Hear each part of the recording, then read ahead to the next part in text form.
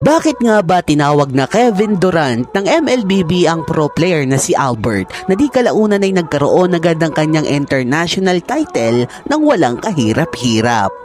Ito ay nagpapatunay na talagang tama ang desisyon ni Albert na lumipat ng koponan dahil sa RRQ Hoshi, abay stress na stress na siya at ilang beses na rin silang nag grand finals pero hindi pa rin talaga makasecure ng kahit na isang international trophy. Pero syempre, hindi naman kasalanan ng tao kung magkaroon ng interes ang pinakamalakas na team ngayon sa Indo dahil nangangahulugan lamang rin ito na hindi rin basta-bastang pro player ang taong ito. Pero teka, kamusta ka batang? Balita ko, gusto mo ng balita. Itabi mo at ako na, kaya ano pa ang inaantay natin? Umpisahan na yan, tara. Unang-una, si Albert ay unang pumasok sa MDL ID pero pagkatapos pa lang ng isang season niya sa MDL ay agad, agad rin siyang iniangat ng RRQ Hoshi sa kanilang MPL team dahil sa lakas na ipinakita nitong laro. At sa unang season pa lamang ni Albert, noong MPLID Season 6, abay nakuha niya lang naman agad ang una niyang kampeonato sa MPL. At ang pinakamaganda pa nito ay tinanghal pa siya bilang Finals MVP noong season na yon. At sa aking pagkakaalam, si Albert pa lang yata ang unang jungler na rookie na nakakuha agad ng kampeonato na may final MVP pa dahil dito sa atin sa Pinas ay wala pa rin nakakagawa ng ganitong jungler.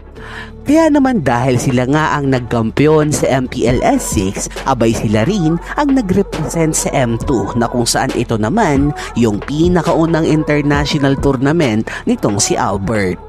Pero nung M2 ay dito na rin unang nag-init ang ating mga pambato at nagsunod-sunod na nga ang pagkuha natin sa international title. Pero ang sumunod kay Albert ay ang M3 na mas lalong lumala ang kanilang standing na talagang mailap ang international para sa kanya. Dito ay nakuha muli nila ang kampeonato noong MPLS 9 at pagsapit ng MSC 2022 noon abay dito na siya unang nakatungtong ng Grand finals sa isang international tournament sa kanyang buong karir at ito nga ay noong inilagdag pa nila ang RSGPH sa lower bracket.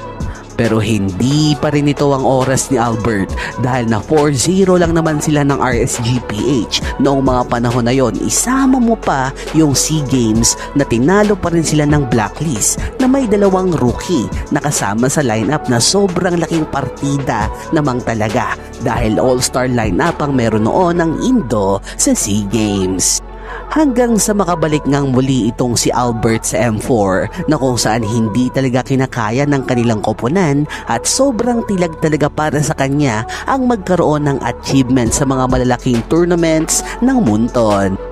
Pero ang hahangaan mo sa taong ito, abay mula nang makapasok nga siya sa MPL abay hindi siya nawala sa M-Series. Nang munton mula M2 hanggang M4 ay nagawa niyang dalhin ang kanyang koponan sa mga major tournament. Pero katulad nga ng sinabi ko sa anim na season ni Albert at sa pitong international na kanyang nalaroan, abay hindi nga siya sinuwerteng makahula man lamang sana ng kahit na isang titulo rito. Kaya dito na malamang humantong si Albert sa desisyong hindi niya talaga makukuha ang kampeonato kung mananatili siya sa RRQ Hoshi dahil sa lakas na meron itong Onyx ID na ayon pa nga sa kanila ang pinaglalabanan na lang ng mga team sa Indo ay ang second place at ang isa pang islat sa international tournament dahil matik na di umunong nasa Onyx na agad ang pinaka unang islat.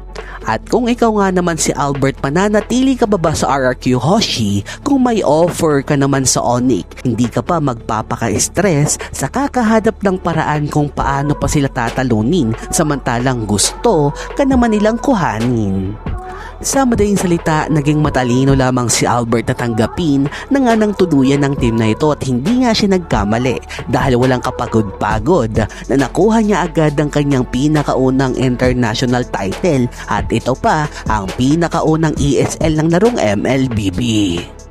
Pero hindi puro positibo ang nangyari sa kanya dahil may mga negatibong impact rin ito sa karir ni Albert. Unang-una ang malaking pagkadismaya sa kanyang mga supporter.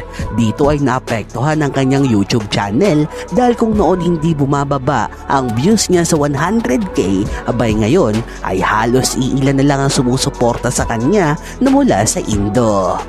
Pero tayo ay dumako naman dito kay Boss D dahil gustong gusto ko rin pag-usapan yung mga posibleng naging line-up sana ng NXP base sa mga offer na kanyang tinanggihan noon at sa totoo lang nakabuo na pala sana sila ng super team kung ito ay natuloy.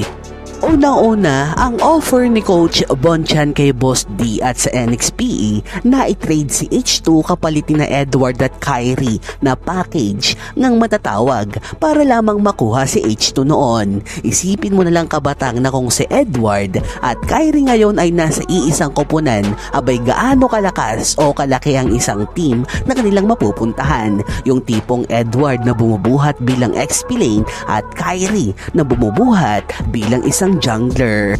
Ito ay offer ni Coach Boncha noon para nga magsama-sama na yung mga bataan boys sa NXP noon pero hindi nga ito tinanggap ni na Boss D. Pero isipin na lang natin na kunwari na tuloy yung trade na yon. Ibig sabihin, mayroon na tayong Kyrie at Edward sa ating lineup. Sumunod, in-offer naman ng Onyx ang V-Wise kapalit ulit ni H2 bilang package deal. Nga ulit, makuha lang ang nag-iisang H2 noon pero mahirap sumugal sa B-Wise noong mga panahon na yon dahil wala pa talaga silang achievements na matatawag. Kaya ibig sabihin nito rejected muli ang offer mula sa Onyx. Pero katulad ng sinabi ko, paano kung natuloy ang offer na ito? Ibig rin bang sabihin may V-Wise na yung NXPE? Pero dalawa lamang yan kabatang na paano kung ang tinanggap ni na boss din na offer ay yung package ni na Edward at Kyrie. Dito na papasok yung pagkakataon na pwede na sanang kunin ni Boss D maging si Chakno. Ito ay ayon mismo sa kanya na may pagkakataon nga sana siyang kunin si Chakno pero ayaw niya dahil sa bisyo nito na pag-iinom. Pero paano lang naman kung natuloy yung Chakno, Edward at Kyrie sa iisang lineup o pwede rin kung paano kung natuloy naman yung V-Wise plus Chakno sa lineup abay mas magiging mabisa nga ba ito? Noon kasi talaga ay mas nagmamatter ang kasikatan sa SOCMED kumpara sa achievements pero noong nawala si Facebook partnership at sinundan pa ng pagkawala ng Munton partnership abay dito unti-unting bumaba ang value ni H2. Dito na rin natin ipapasok si Rene J na kung noon ay tila palong-palo at nangingibabaw sa lahat ng kanyang mga kasama ang gameplay na meron siya sa NXP pero ngayon ay tila pinagtatawa na lang siya sa paraan niya ng paglalaro na hindi na talaga umaakma sa kanyang mga kasama. At kung noon nagre-range rin talaga ng milyon ang pag-buyout sa kanya, habay ngayon, tila malaki na rin ang ibinagsak nito na parang katulad kay H2. Pero para sa akin hindi pa huli ang lahat para sa kanilang dalawa dahil sa oras na muli silang manggigil at mag-focus muli sa pag-grind ay kayang-kaya nilang ibalik kung ano ang dapat nilang ibalik. Pero yun nga lang, yung napakalaking kitaan na kagaya noon ay tila mahihirapan na silang ibalik ito ng dahil sa tuluyan ngang nawala na yung mga source na pinagkukunan nila noon. Pero kahit ganon, nakapag-invest na rin naman ang dalawa sa business, lalong-lalo na sa lupa. Kaya kahit papaano ay masaya pa rin tayo para sa kanilang dalawa. Dahil sa tingin ko ay hanggang dito na lang muna ang ating kwento patungkol sa pinakaunang international ni Albert at syempre sa mga nasayang sanang lineup na hindi natuloy para sa NXPE. Yun lamang po at maraming salamat.